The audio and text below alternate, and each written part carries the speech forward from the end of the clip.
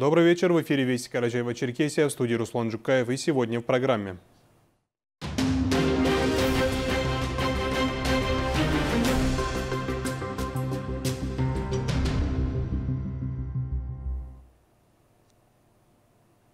Сегодня по всей стране отмечают День государственного флага России. В рамках празднования данного события в зале торжеств Дворца культуры города Черкеска глава Карачаева-Черкесии Рашид Тимрезов вручил паспорта 27 учащимся школ республики, отличившихся в учебе, спорте и творчестве. На мероприятии побывал и Алихан Лепшоков.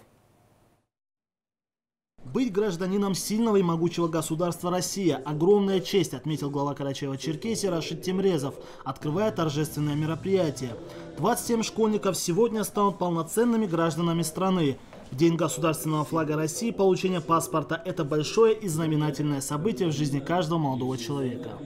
Дорогие ребята, вы наша гордость и смысл нашей жизни. Все, что мы делаем, делаем для вас. Всегда помните, что вы живете в огромном и могучем государстве с богатой историей и культурным наследием. А его флаг – это флаг сильной страны, быть гражданином которой – огромная честь. Я всех еще раз поздравляю с этим знаменательным событием. Хочу вам пожелать быть самыми умными, самыми сильными, самыми красивыми и успешными. Паспорта граждан Российской Федерации получили учащиеся школы, отличившиеся в учебе, спорте и творчестве – После все молодые люди произнесли клятву гражданина России. Мы, юные граждане нашей страны, получив паспорт гражданина Российской Федерации, мы торжественно клянемся с честью и достоинством носить высокое звание гражданина России. Клянемся своей учебой, поступками, укреплять авторитет доброе имя нашей национальной Карачаево-Черкесии. Паспорт является билетом во взрослую жизнь, и сегодня у нас все возможности, чтобы быть достойными людьми нашей страны, отмечают виновники торжества. Сегодня было очень весело, и я очень рада, что я наконец-то получила паспорт. Это такая ответственность, я это, этому очень сильно рада. Это по сути, вход в взрослую жизнь. После для юных граждан страны был организован небольшой концерт с участием детских творческих коллективов и известных артистов республики. Алихан Лепшоков, Али Бастанов, Вести Карачаева-Черкесия. Но в Карачаевске по сложившейся уже традиции городская администрация ко Дню флага России организовала автопробег с восхождением на Клухорский перевал. Участники экспедиции развернули бело-синий-красный стяг на высоте 2782 метра над уровнем моря, где не только земля, но и воздух пропитан духом славы воинства нашего Отечества. Ахмат Халкечев продолжит тему. Организовывать восхождение на Кукурский перевал ко Дню российского флага для администрации Карачаевского городского округа стало уже доброй традицией на протяжении последних семи лет. Единственным отличием этого года от предыдущих было то, что помимо флага России в ознаменование векового юбилея Карачаева-Черкесии участники акции также развернули флаг республики и полотнище с символикой специальной военной операции на Украине в знак поддержки наших военнослужащих и главы нашего государства. Мы сюда поднимаемся День флага России для того, чтобы почтить память защитников перевала, перевалов Кавказа, э, почтить своим вниманием э, те э, славные страницы нашей истории, нашего государства, когда фашистские захватчики были оттеснены, сброшены с вершин Кавказа. И, в принципе, с этого момента уже начинается переломный момент по всей стране. В горах случайных встреч не бывает, в чем еще раз убедились участники восхождения и автопробега патриотическо-добровольческого проекта «Река памяти» из Краснодарского края. Незапланированная встреча с единомышленниками из соседнего региона оказалась довольно интересной и продуктивной. Стороны договорились о сотрудничестве и взаимодействии в организации мероприятий, приуроченных 80-летию освобождения Кавказа от фашистских захватчиков. Я, конечно, горд вместе с вами вот здесь помнить, эту память нести – Плохие люди давно объединились. Пора объединяться хорошим людям.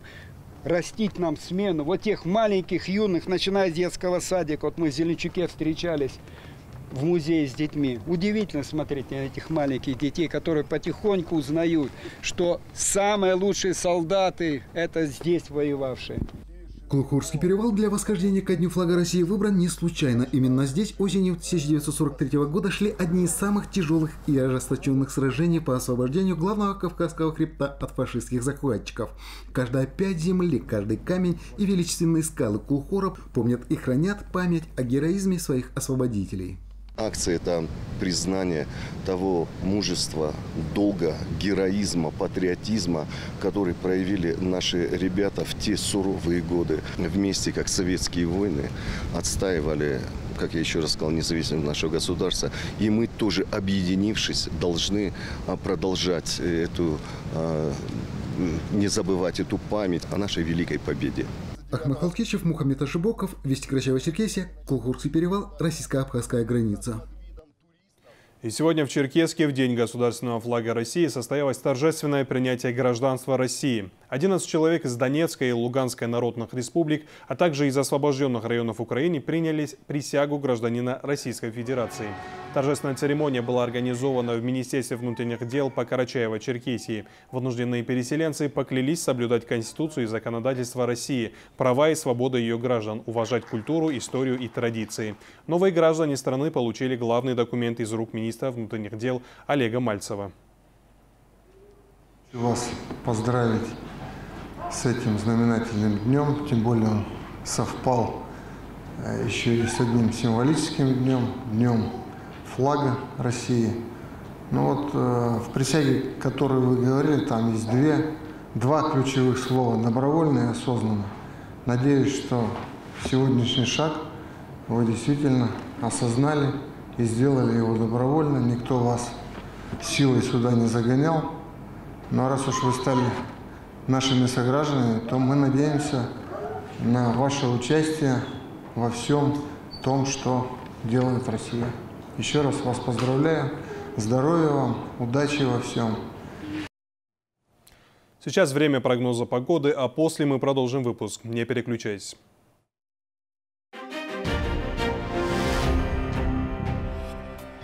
В Карачаево-Черкесии ночью преимущественно без осадков. Днем в горах местами кратковременный дождь, гроза. Ветер восточный 5-10 метров в секунду. Ночью порывы 11-14 метров в секунду. Днем 15-18 метров в секунду. Температура воздуха ночью плюс 12, плюс 17, в горах местами плюс 7, плюс 12. Днем плюс 28, плюс 33. В горах местами плюс 20, плюс 25 градусов. В без существенных осадков. Ветер восточный 5-10 метров в секунду. Ночью порывы 11-14 метров в секунду. Днем 15-18 метров в секунду. Температура воздуха ночью плюс 15, плюс 17, днем плюс 30, плюс 32 градуса. Ортопедический салон предлагает средства реабилитации, изделия для позвоночника и суставов, компьютерная диагностика стоп, изготовление индивидуальных стелек, детская и взрослая ортопедическая обувь. Черкесск, улица Кавказская, 37, торговый центр «Панорама». Только до 4 сентября в Кисловодском цирке. Шуги и рация «Песчаная сказка». Окна в рассрочку. Оконный комбинат. 8 938 333 92 0.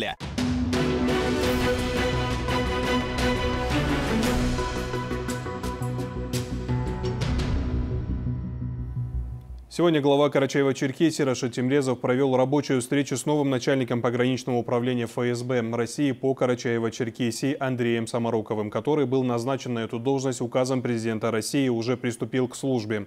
У Андрея Георгиевича серьезный послужной список в разных точках страны от Дальнего Востока до Ленобласти. Убежден, что он сможет применить свои знания в, организ... Э, в организаторской деятельности с выполнением поставленных задач по защите государственной границы и у нас, отметил Рашид Тимрезов. Между органами госвласти Карачаева-Черкесии и погрануправлением налажено тесное взаимодействие. Погрануправление активно участвует в жизни республики. Его сотрудники вносят большой вклад в военно-патриотическое воспитание молодежи. В Черкеске состоялось долгожданное для жителей республики событие. После капитального ремонта открылся футбольный стадион «Нарт». Участие в торжествах приняли несколько тысяч человек, в том числе более десятка легенд отечественного спорта из московского «Спартака». За мероприятием в честь столетия Карачаева-Черкесии наблюдал и наш корреспондент Артур Мкце. В столицу Карачаево-Черкесии возвращается большой футбол. И первый шаг в этом направлении был сделан открытием республиканского стадиона «Нарт». О том, насколько важным для жителей региона стало это событие, говорит количество пришедших на трибуны людей. Причем зрители занимали места задолго до начала мероприятия. Праздника хочу пожелать всем, как бы, чтобы все насладились футболом и спортивным зрелищем. Ну, таких мероприятий давно здесь не было. Ну, открытие стадиона, да, все давно ждали. Вот, наконец-то он откроется. И надеемся, что такие мероприятия будут все чаще и чаще. Все вот в ожидании чуда на самом деле. Столько лет этот э, комплекс великолепный, Нарт-стадион, на котором мы все выросли, был закрыт и на реконструкцию. Теперь вот сегодня будет фурор открытия его. Пока зрители наблюдали за последними приготовлениями к праздничному мероприятию, глава республики Рашид Темрезов вместе с выдающимся российским тренером по футболу Олегом Романцевым оценили качество ремонтных работ в подтрибунных помещениях и комфорт для занятий в различных секциях. Здесь же расположилась фотовыставка «Спортивная гордость Карачаева-Черкесии». И вот звучат фанфары и на беговые дорожки выходят около одной тысячи воспитанников спортивных школ республики. Мы